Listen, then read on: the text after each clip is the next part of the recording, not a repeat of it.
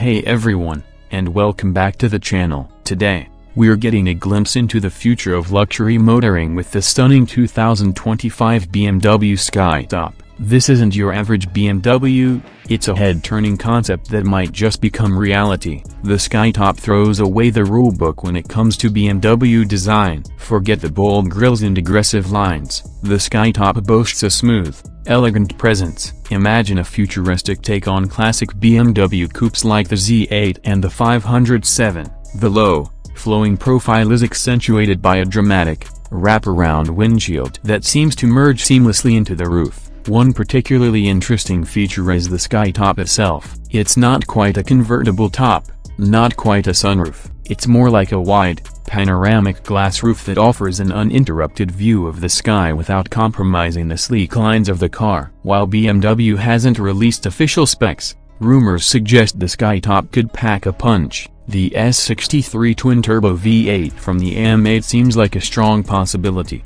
offering exhilarating performance to match the head-turning looks. Interior The interior is all about minimalist luxury, think high-quality materials, a driver-focused cockpit, and a clean, uncluttered design.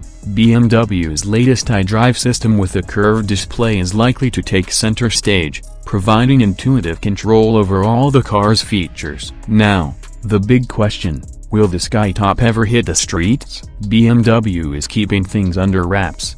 But there have been hints of a possible limited production run, with its exclusivity and stunning design.